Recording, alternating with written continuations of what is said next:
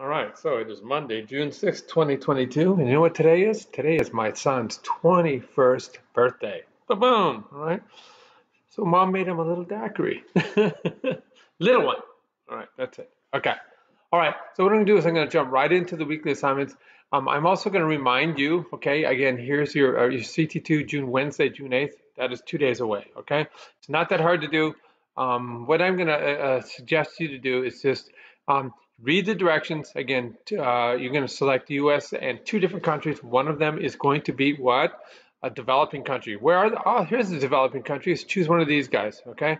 Um, Alrighty, and um, and yes, China's on there because such huge segments of China is is way out there, removed and separated from their their technology uh, thick cities and urban centers. Okay, all right. So um, what else do I want, to, want you to do? Right here, I have a slide deck, so I'll just pull this thing up. Okay, all right, slide deck up here somewhere finding my PDF file here. There it is. Okay. So um, yeah, so it's a step-by-step thing. Okay. So critical thing one, uh, and what I did is I, I, you know, I have all these different um, uh, components that are present when you're there. Okay. So we're going to go to the next slide. Um, this tells you some some background on things. Okay, that you can use for the writing. All right. Um, and then you just add a country. You go right into the website and you add a country. All right. Um, you pick and choose what you're going to do, okay? Um, uh, this is life expectancy right here, okay? So we can look at that, okay? And we scroll down here, okay? And this is the, the screen you're going to get. You click on these guys to get rid of them, and then you click on what you want to, to include them, all right? All righty. And so there I was. I did Afghanistan, United States, and Greece. And you can see the huge disparity. And you can also see um, changes in record keeping and things like that, okay? Again, just follow the green and red arrows. They're going to tell you exactly how to navigate that. All right, cool. All right. Um, so um, you're supposed to take screenshots, okay? So this is the PC method, okay? So it's Windows key Shift S all at once, and when you do that, then you're able to capture the the the image that you want, and you can then paste it um, into the document that you're creating, okay? This is the uh, the Mac uh, screen capture method. Uh, I don't know anything about it because I don't have a Mac. All right. Um, part two, okay, we're, we're looking at the whole issue of working age, okay, and the distribution of dependents, okay, and that's basically what you're going to look at. And you can look at the shifts that happen here over time.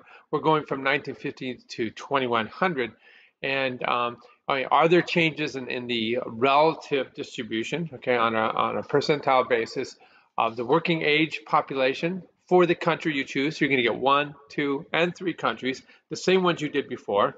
You put them in uh, in documents and you talk about it. So what do we have here? Uh, this one I'm looking at Japan. This one I'm looking at Afghanistan, and here I'm looking at the United States. All right, so I changed it up. All right, but you should use the same countries. All right, um, and you get the percentile basis. Okay, um, talks about a 221 right here, the here and now. Okay, so this was from last year, and um, and you can see that the transition is happening where the, the, the number of, uh, on a percentile basis of, of dependents are getting more and more elderly here in Japan compared to where they were here, less children. This is a great analysis, and then you, um, in terms of social services, you uh, anticipate this and you and you uh, adjust. Okay. Again, this is just a blow up of the same thing. Alrighty, cool. Um, um, uh, right here. Okay. Um, uh, again, we're looking at the age structure and it tells you what to do. All right, so that's what that, that's all about. I just wanted to kind of show you guys that. Um, you can also watch my YouTube right here that I did um, last semester. Um, it still applies, okay? And so I'm just gonna uh, pull it up right now. And um, sorry for the little, you know what, I got I got to redo my ad block, okay? But it's a how-to right here. I'm gonna skip ads, okay? And there it is it's me again. Um, so what I'm going to do in this short, promise you, very short video, it's guide it's you how me to do talking your to first me. writing assignment. Awesome, cool. So just watch that video and explain everything you need to do. Awesome. All right, that's that's where we're at right now. Okay. So what we're to do is I'm to now take us to this next assignment for this week. So this would be assignment two for week three, okay? So we're gonna scroll down here, we're gonna wake week three, and here it is, man. So it's it's actually assignment eight because it's the second assignment of this week. We did three, we did three, and now we're doing number two, all right? Um, when we looked at last assignment, okay, the one I just did um, uh, on Sunday, know, we were looking at um, Alzheimer's disease again as this potential burden to society, but to you as well. And that was the whole point of the discussion. And that was looking at caregivers for demented patients. It's kind of some scary stats that we went over last time. All right. Um, and uh, we provided, you know, you basically we're going to create a, um, a, a, program that's going to recognize the help that caregivers need um, uh, financially and um, in terms of their psychological well-being. And then I referred you to this facility that we have here at the Davis School, where they provide guidance in, the, in these issues. All right, so that was the whole point of that. And now we're going to actually go in deeper. That was an example. Excuse me, we're going to go in deeper to the whole topic care of caregiving. This video is going to go right in here, guys, just like always. Um, and just like always, I recommend that uh, before you start anything, you open a second window or a second browser and you open the quiz and you just kind of go back and forth as you're marching through this, okay? All righty. So this is a document you're going to read. This reading is in support of a lot of the imagery that we've provided here, all right? So you're going to see this, this very graphic in the article on a different scale, but it's the exact same data, okay? And um, so we're looking at um, the, the, the number of people that can take care of an elder, all right? So this is what's called the caregiver support ratio, all right? And it can be your immediate family, all right? You and your brothers and sisters, your siblings, and caring for your parents, okay? So um, if you have two parents, okay, and you have um, uh, four siblings, and you kind of divide it up, okay? It can be extended out to, to the community, but in the reality, through the analysis that's been done, you can see the runaway train that's happening right here. So here we are right here.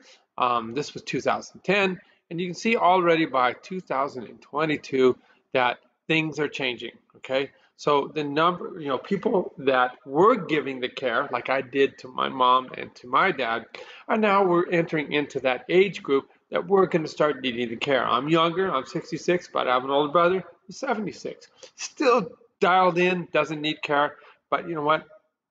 It could happen. All right. So uh, in their analysis, we're seeing that um, as time progresses, okay, there's going to be fewer and fewer people, and that's what this is all about here. We see it graphically, and then we see it uh, right here in terms of verbs. Again, it's kind of the shock and awe. There were seven potential caregivers, okay, from the community that would of, of, of your both your regular family and your logical family that could help in the care of an individual, one person that needs services, okay. In 2030, that's declined to four to one, and then in 2050, it'll be three to one. So that just means that um, it's a serious, serious burden placed on fewer shoulders. Okay, and it is a serious burden, my guy, my friends. All right, so um, per your discussion last week in policy, how are we stacking up as a country? All right, so caregiving, how do we stack up globally? Okay, and we see right here in terms of government services for long-term care in terms of our health okay? So you need somebody to come by and you need somebody to help you administer medicine, you need somebody to do occupational physical therapy, help you transition to a mode that we need a lot more services. Um, we see this uh, long-term um, health care, that's the orange bar, compared to all these other countries, we're, we're, we're racing to the bottom, okay? So, you know, our country is basically, in terms of healthcare, is especially this type of care that is not covered uh, by uh, Medicare and things like that. Um, you know, it's totally up to you. And if you haven't saved, you're in a world of hurt. Okay. Even worse, there's social care. Okay. We we know that loneliness is um, causes causes a precipitous decline in health, and um, and uh, so a big way to, to fight that and remedy that is just to have this long-term social component where people will come by, they'll talk to you, um, keep you company, make you feel part of your own unique social network again. And the, this is ever present in a lot of countries, but not in ours. You see this, this light yellow, so you see dark yellow and uh, dark orange, or light orange or, or a yellow.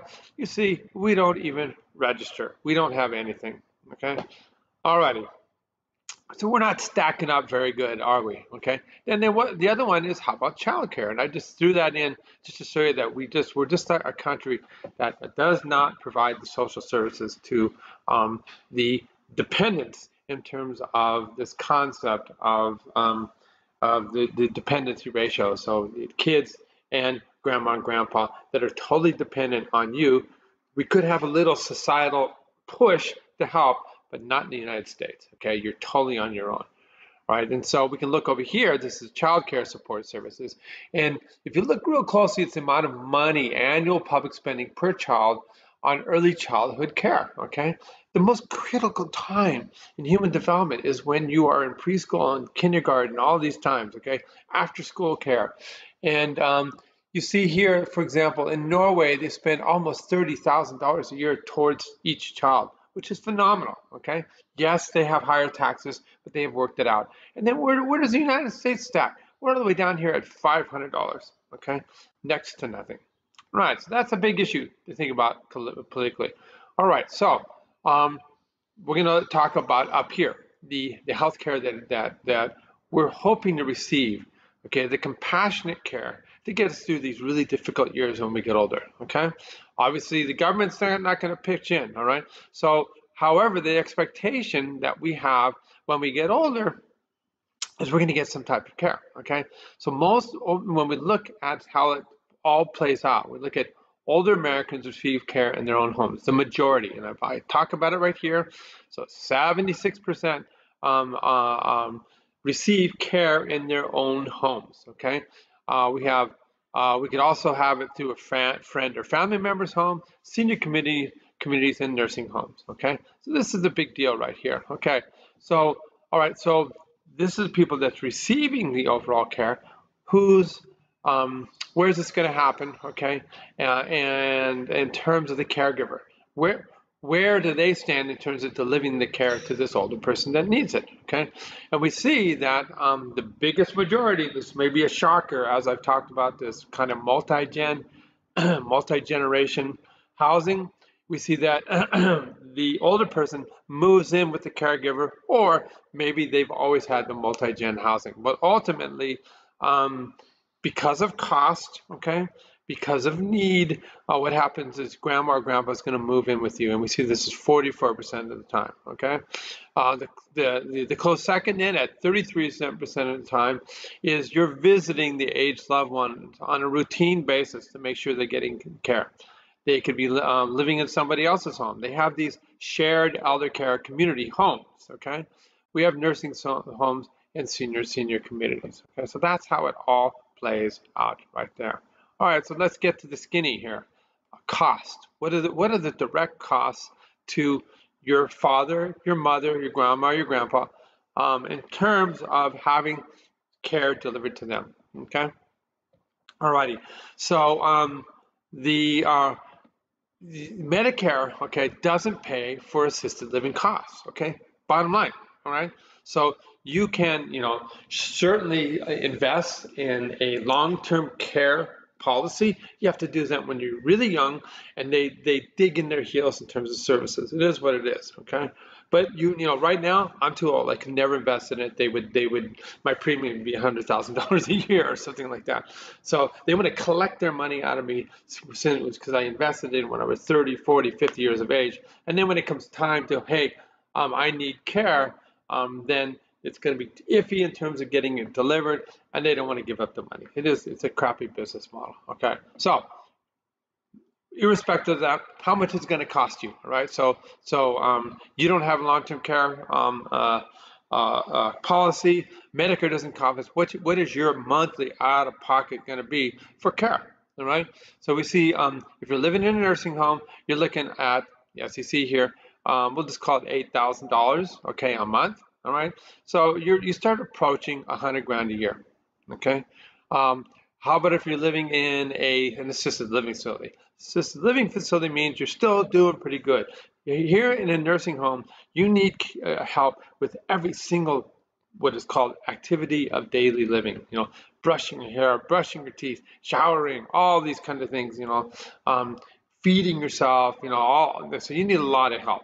Here, you're still kind of mobile, but you um, you're you're you're not as um, on top of things, so you can't really live at home anymore. All right, so that's why people um, will you know look to get an assisted living facility, so you can just be assisted in living the way you want to live. Okay, all righty.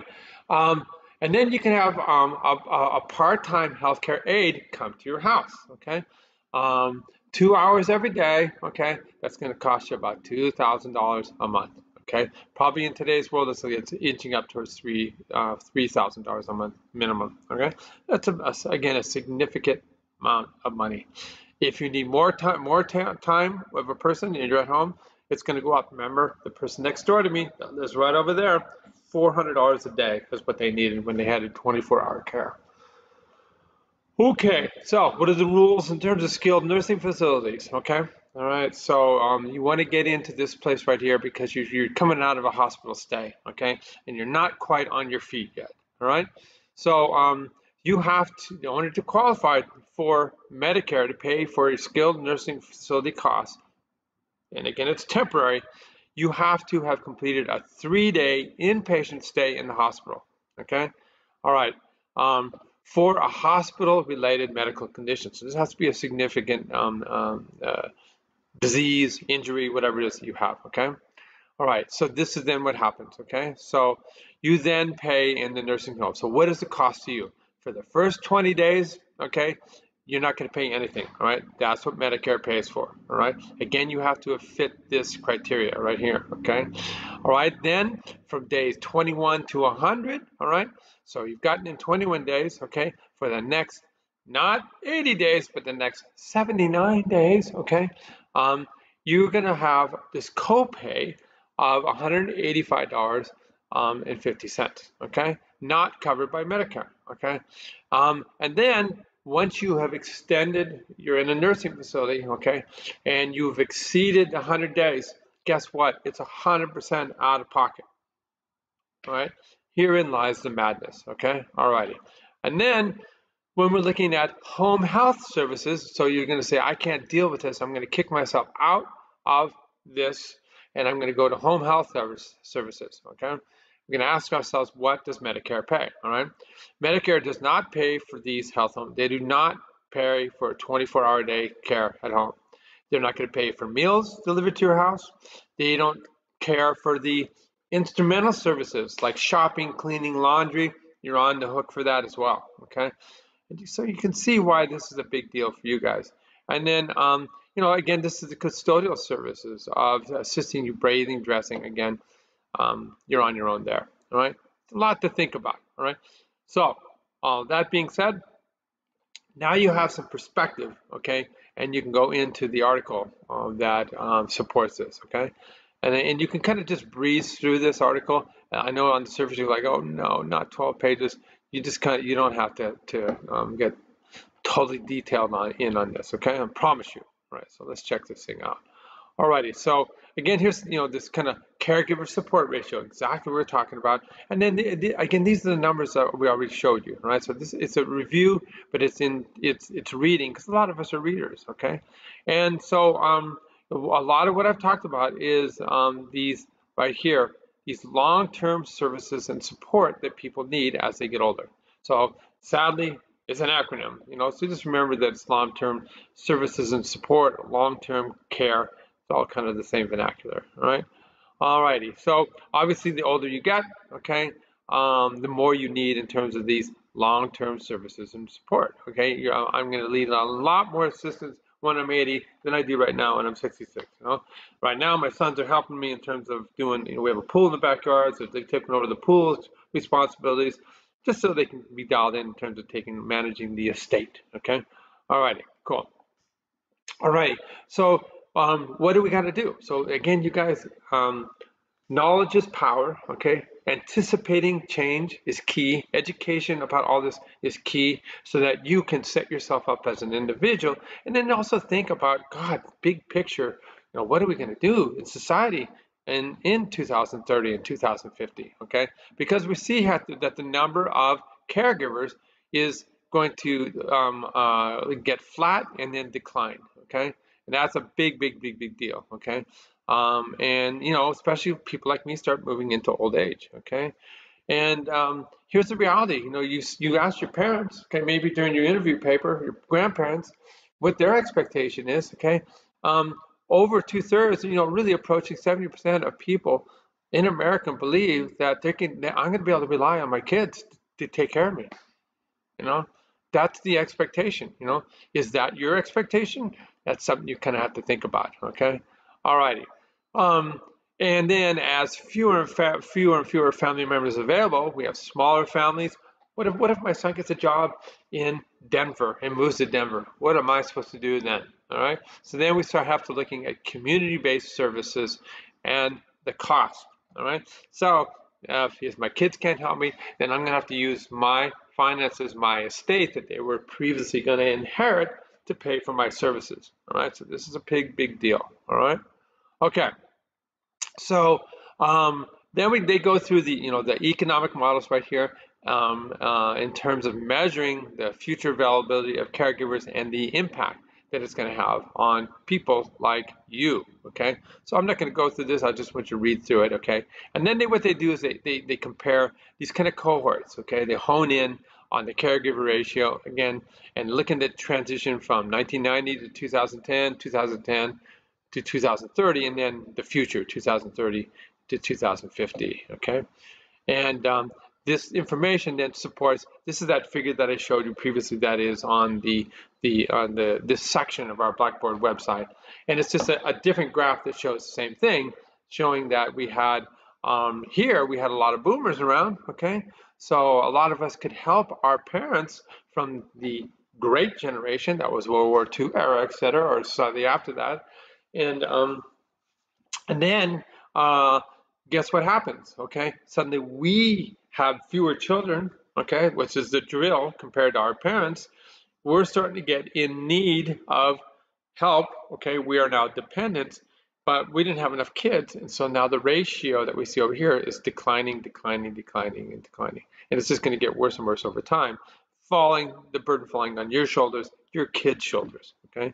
And that's what that's all, that's all about, okay? Alrighty, and this is just kind of you know stuff you already know. These are demographics, okay? The projected age to uh, 45 to 64 population, you see it's just going up and up and up um, uh, over time. So it's just going to make up a um, a, a, a, larger majority. This is uh, projected in terms of millions, okay? You know, it's crazy you think right now we have what? We have 300 and um, a little bit under 370 million people in our country. And suddenly we're going to go from 40 million to 100 million people that are over the age of 65 in that age or, or 45 to 65, I'm sorry. But you can see that the country's getting older, basically, okay? Alrighty, uh, so then you go over the support ratio, okay? Again, here's the increase in the over 80 population going from, uh, you know, 1990 to 2020, we went from about 6 million to 2022 to about 15 million. And then what are we going to do? Um, you know, when you guys are kind of a ripe age at 2050, so what are you guys right now? You guys are 20. So you guys will be 70 years of age, and you're going to see that the, the 80 old year old population is going to be 35 million compared to the roughly um, you know 14 million right now. All right, so th these are big big changes that the world is going to inherit. Okay, all righty, cool. So that's that's the story on that, guys. Um, and you know, again, um, good luck with the critical thinking assignment. You can you can send things our way. We can help you out on that. Um, it's it's it's not that hard. Uh, you guys are you guys are good at this, and, and it gives you a chance to do a little bit of data mining in what is an incredible database that you can possibly use someday, um, you know, in the workplace, you know, where um, your boss asks you to go get data on X, Y, and Z. Go to the World Data Bank. It's it's phenomenal. It has everything you need, economic projections, you know, society shifts, everything you would ever want. Okay. All right, guys. Um, then we come down here. Okay. So you guys are experts in caregiving, and so then there's a short article that talks about cultural diversity. Okay, and super important. Our country, God, we we come, you know, the United States of America. Uh, we embraced immigration for years and years and years. And uh, there is a dynamic. Okay, every culture has their expectation of support and caregiving. Okay, um, I, have seen in your guys' uh, discussions already um, how many of you um, are um, living in multi-generation households, and that is just the standard of the culture from where your parents and grandparents came from. Okay, um, and even within that, that there are differences. Um, um, you know, let's say we're all multi-geners.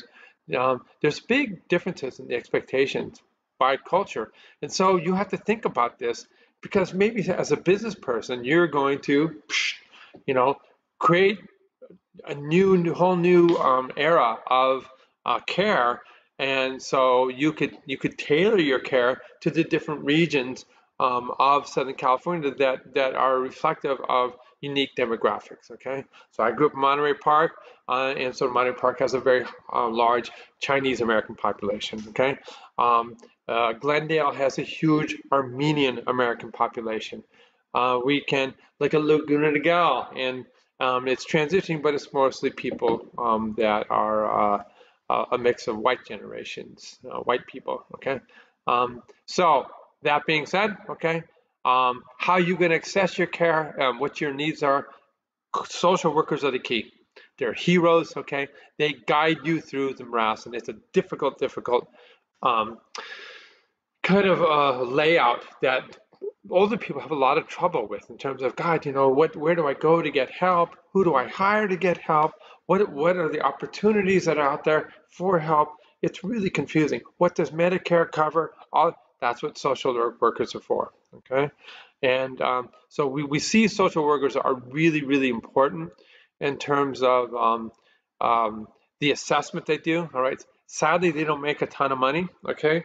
Um, and you're not going to be doing the care, but you're going to be the um, the advisor that will set people up with um, all kinds of, of, of, help. Okay, so um, so you refer the person to the best treatment center if they need medical help.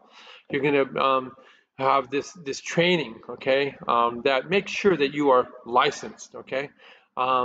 You have a strong desire, you have to want to help people to take on this career, okay? And then what you're going to do is you're going to be, as a social worker, okay, you're going to be assessing every client's needs and again, referring them to the services that they need, okay? So what type of social workers are there? So yes, family services agencies, this is what I've been talking about all the way up to this point in time. Schools have social workers. Child protection services have social workers. Prisons have social workers, okay? You can work out of local health, health and community centers. Every single hospital has a whole team of social workers that are gonna dispatch aid or set you up so that you can go directly into that nursing facility, right? So this, these caseworkers are super important. And then you can also just have private practice, okay? Um, and again, there are different government agencies. These are all the different types of career trajectories that you have. All right, so that being said, we we see all this, and so I want you to think about your future, America's future, and caregiving while answering the questions above. Okay, so we're gonna go look at what those questions above are. There they are right now. Okay, um, so uh, read through this and answer the questions. Okay, um, for example, um, you know, what is the prospect of family support in this generation when they grow old, uh, old in the next several decades? Okay. Um, Will the current pattern of social support change? Is our government going to step in? Maybe the policy you wrote up, okay? How can the U.S. learn from the way things are done in other cultures? That's key. Remember those graphics. Remember your culture that you come from, okay? Um, and um, do we rely too much on outside help? Should we should we have it more dialed in to our family or our communities that we will help each other? All right, so those are the key concepts as you're going through this. All right. All right, I, I, bounced around a little bit right there, guys. I think we're done. Um, good luck, and we'll see you the next assignment.